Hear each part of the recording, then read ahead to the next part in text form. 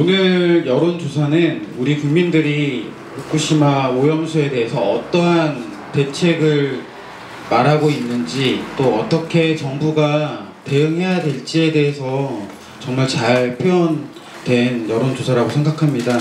우리 국민은 후쿠시마 오염수 해양 투기에 대해서 절대 다수가 안전하다고 생각하지 않고 이것을 방류해서는 안 된다라고 의견을 주셨습니다. 또 한편 걱정스러운 것은 이것으로 인해서 많은 국민들이 수산물 소비가 위축이 되고 또 걱정을 할 수밖에 없는 상황이 펼- 펼쳐질 수 없을 거라는 이런 조사 결과가 나왔습니다.